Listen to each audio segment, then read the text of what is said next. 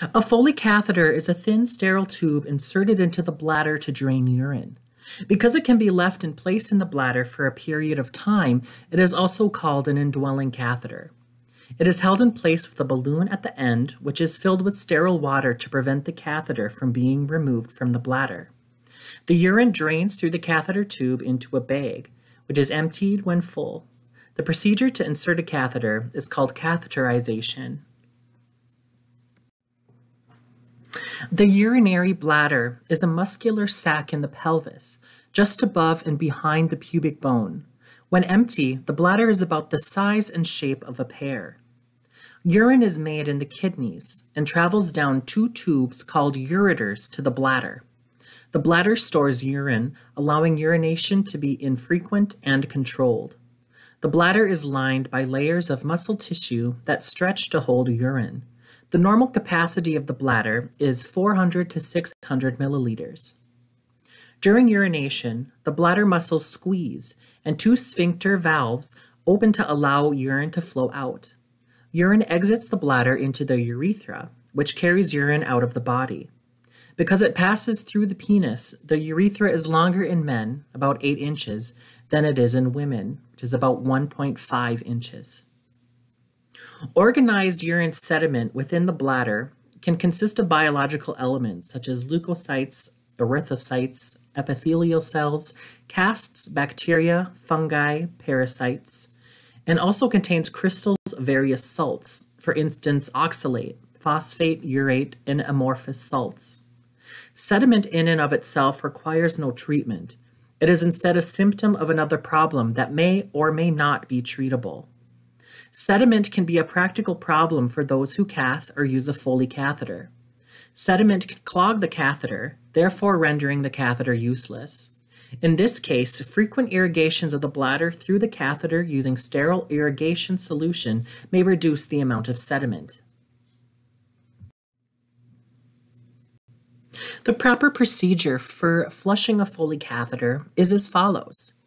Number one, you want to protect yourself utilizing standard precautions when performing this procedure.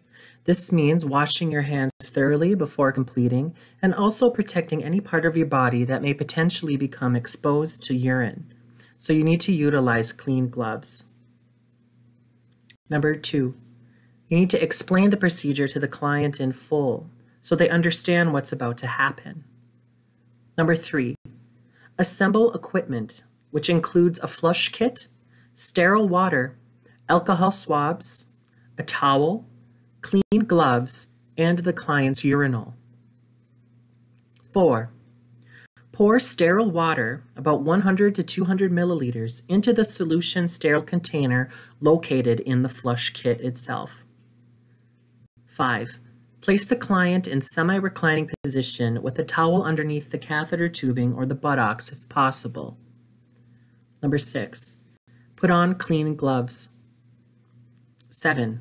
Cleanse the junction of the catheter and the drainage tube bag thoroughly with the alcohol-soaked pad. 8. Carefully disconnect the tubing from the catheter and holding the catheter upright or else draining onto the towel. 9. Draw up approximately 30 to 50 mils of sterile water in the syringe and gently instill into the catheter. 10. Remove the syringe, position the catheter over their urinal, and allow draining by gravity, collecting irrigation return in the urinal. 11. Repeat the irrigation procedure until the debris is cleared from the lumen of the catheter. Note, if fluid fails to return, stop irrigation. An obstruction or an air pocket may be present. Try gently rotating the catheter in your fingers or turn the client from side to side to clear the catheter. 12. Cleanse the end of the catheter and the end of the bag tubing with the alcohol wipe. 13. Reconnect the catheter and the tubing. 14. Discard irrigation returns in the toilet. 15. Discard any unused irrigation solution that was poured into the container.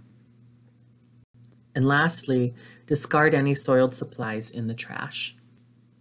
You want to complete a medical note stating that the procedure was performed and how much urine return was collected in the urinal, and also take note of how much sediment was present.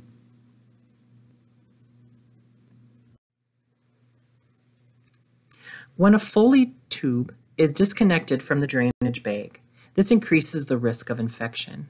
So this is why we utilize aseptic technique when performing an irrigation, which includes sterile water, and avoid touching the opening of the Foley tubing itself. We can attempt to restore the urine flow by inspecting the drainage system for any obstructions, or by gently milking the tubing to clear possible blockage. And you always want to squeeze and milk a tube towards the drainage bag and away from the body. You only want to irrigate a catheter if it's obstructed and as a last resort. Assess the possible cause of plugging. There could be a bladder infection or an inadequate fluid intake. It's important to push water. There could also be an alteration of pH in their urine. This is something that should be followed up with their primary care provider. Irrigation can damage the bladder mucosa, so we need to instill irrigation solution by gravity or only with gentle pressure. Use gravity drainage for the return of the irrigant only. Use a very gentle milking motion on the tubing if this method is used at all. The irrigant should be at room temperature. And always use a sterile syringe included in the flush kit. No air should be injected with the solution. Never instill more than 30 to 50 mils at one time. And an order by the physician is required to irrigate a catheter, and it must include the type of irrigating solution, the amount of the solution, the time, and frequency of the irrigation. The first priority would be to contact a licensed personnel to perform this irrigation so feel free to contact me via cell phone, by call or text message, or by email. If the blockage occurs after hours or the nurse is unavailable, you will utilize this training to be adequately qualified to perform this procedure.